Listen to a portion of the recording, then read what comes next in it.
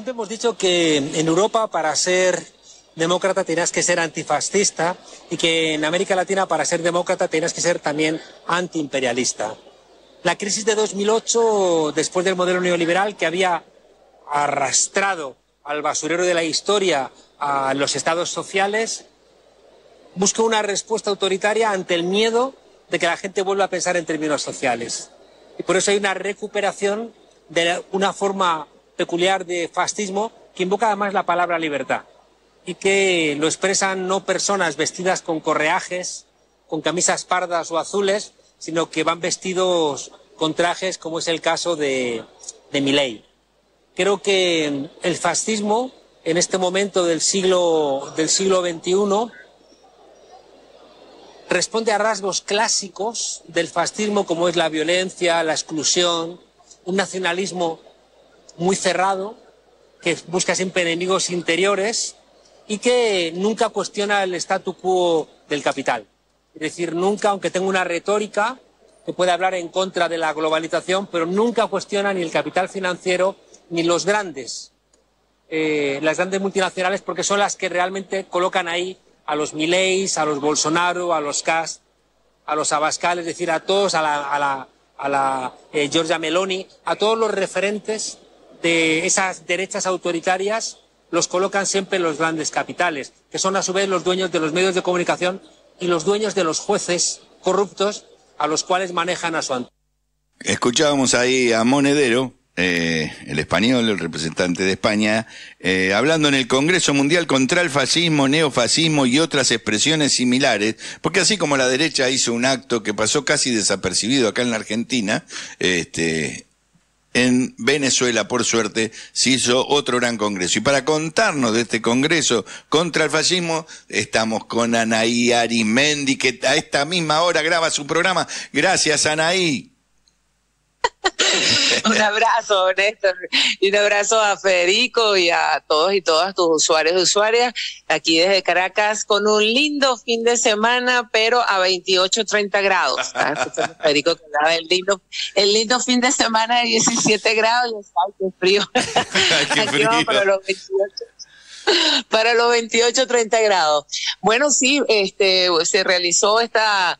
esta gran convocatoria. Venezuela fue el epicentro de eh, la lucha mundial por la paz en contra del fascismo. Casi 500 delegados y delegadas de más de 95 países, organizaciones sociales, políticas, parlamentarios, movimientos afrodescendientes, indígenas, investigadores de las redes intelectuales, periodistas. Bueno, una gran variedad de eh, expresiones, voceros y voceras de movimientos en el mundo que eh, luchan por la paz y que pudieron también intercambiar experiencias durante estos dos días que eh, permitió mm, primero dar a conocer evidentemente la realidad sobre el, proceso venezolano, todo lo, lo que ha sido las agresiones y los actos fascistas y las organizaciones fascistas en el país, pero sobre todo un escenario para el intercambio mundial de las de las expresiones de esta cultura del odio que se quiere imponer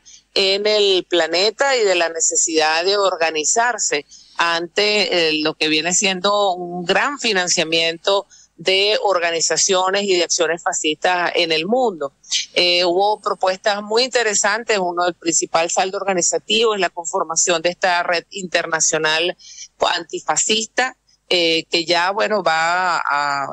comenzar a, desarrollar actividades y que ya están planteadas algunas propuestas. El presidente Nicolás Maduro invitó, a, ofreció nuevamente a Venezuela como sede del Gran Congreso Mundial de Jóvenes contra el fascismo y también el Congreso eh, eh, Mundial con, Antifascista desde de la comunicación. Es decir, que hay dos eventos, nuevos eventos para este año, también como parte de la continuidad de esta agenda necesaria y de debate necesario contra el fascismo. Eh, asimismo, bueno, se plantearon distintas propuestas, hubo bastante unanimidad sobre la necesidad de pronunciarnos y actuar frente al genocidio en Palestina, eh, muchas reflexiones sobre el papel que están jugando las redes y las plataformas digitales en la difusión de los mensajes de odio y en el empoderamiento de eh, las expresiones y culturas fascistas, neofascistas y otras similares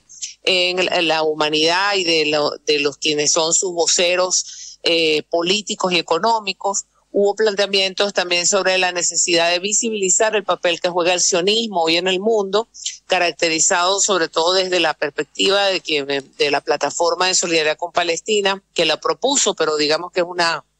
una idea compartida sobre cómo desde el sionismo están los grandes financistas de todas estas acciones de, terror, el papel, como lo decía en el audio que pusiste eh, también monedero de los grandes capitales, los, el, las,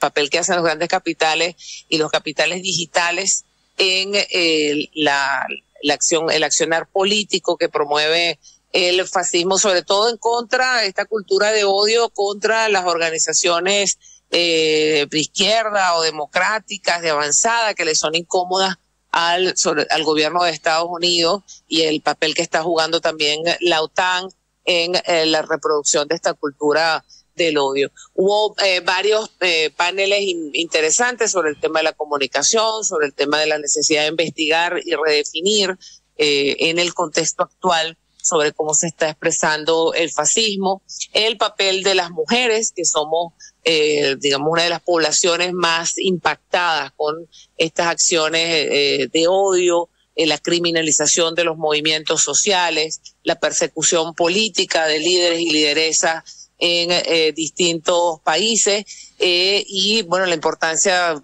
que puede jugar la mujer como constructora de paz eh, desde una pedagogía de la ternura para desmontar todo lo que significa estas acciones de, odio en el mundo y que han tenido distintas expresiones. También debate y preocupación sobre el, cómo la visibilización que está adquiriendo en, en América Latina, tomando en cuenta, sí, ciertamente que muchos de aquellos que salieron impunes de fascistas y nazistas que salieron impunes el nazismo y que se eh, terminaron eh, viniendo a América Latina a seguir organizando eh, con los grandes capitales que y se hicieron. bueno, están, han hecho, están haciendo actividad política y están teniendo expresiones hoy en gobiernos como el de Milei en Argentina, como el de Novoa en Ecuador, y como todo lo que significan otros, que también lo que ocurrió en Bolivia, eh, durante el 2019, el golpe de Estado, y los grupos que también han organizado en Venezuela, entre otros. Es decir, que, eh, bueno, hay también una preocupación desde América Latina sobre la necesidad de eh, frenar todas estas expresiones de odio, de racismo, de discriminación, de misoginia en general. Es decir, que hubo una, realmente una, una gran conferencia como espacio de, de debate, de construcción, de organización colectiva, que sin duda está ya teniendo una repercusión eh, mundial porque, bueno, en todos los continentes hoy hay organizaciones que se van con eh, mayores herramientas para la lucha contra el fascismo en el mundo. La verdad que es un, una bocanada de aire recibir estas informaciones. Yo les contaba hace un ratito, acá en la Argentina, a pesar de que sufrimos derrotas, porque se veta el aumento a los jubilados, porque, bueno, son amenazas y represión, pero se empieza a ver que el bloque hegemónico político que tenía la libertad avanza empieza a romperse con contradicciones. Ojalá podamos seguir nosotros avanzando con esto. Pero bueno, también se rompe el bloque en Venezuela de los opositores a, a Maduro que hace un, un mes atrás estaban a punto de tomar el poder, según los medios de comunicación mundiales, y ahora lo tienen a Edgar, eh, ¿cómo es? Edmundo González, separado de Corina Machado, uno se fue a España y no se tiene muy en claro cómo piensan seguir esta batalla contra Maduro, que congresos como este del que participó Maduro también fortalecen la posición de los compañeros venezolanos, ¿no, Anaí? Sí, e, evidentemente. Bueno, nosotros siempre lo dijimos a lo largo de las conversaciones que hemos tenido contigo antes, desde antes de la campaña. En Venezuela hay que hablar de oposiciones. Eh, no hay oposiciones y hay un grupo de la oposición que es un grupo evidentemente fascista y cuya agenda es la violencia, que no le interesaba las elecciones, lo que le interesa es una agenda de violencia para poder seguir justificando financiamiento que recibe desde el extranjero y que por eso no hizo tampoco campaña electoral, sino que dedicó la, el periodo de la campaña a buscar financiar los llamados comanditos, expresiones y organizaciones junto con la delincuencia organizada y grupos paramilitares para tratar de sembrar una agenda de violencia en el país. Eh, hoy, bueno, la oposición está mucho más dividida que antes y su candidato formal, Edmundo González, él solicita él personalmente el asilo político y en respeto de los derechos humanos y el derecho internacional, el gobierno nacional, eh, bueno, eh, eh, acompaña, digamos, las gestiones, aprueba las gestiones para el asilo, la solicitud de España para el asilo político. Es decir, algo que no surge de ninguna negociación, lo solicita el mismo candidato, él mismo decide irse a España. hasta ahora lo que ha escrito formalmente, bueno, ha generado muchísima inconformidad y comentarios por parte de la oposición eh, porque hay una demarcación de las posiciones de María Corina Machado. Ya las había antes del asilo. Él mandó su abogado a reunirse con el fiscal general de la República ante el fiscal y lo declaró públicamente el abogado en su representación. Dijo que él no tenía nada, que no sabía, no tenía nada que ver con las actas, que él no tenía responsabilidad en eso, que eso lo había la página que eh, supuestamente le daba, o sea, la página en la cual eh, decían que él había triunfado, etcétera, y que presentaba todas estas actas, la había organizado, era responsabilidad de una organización de la sociedad civil,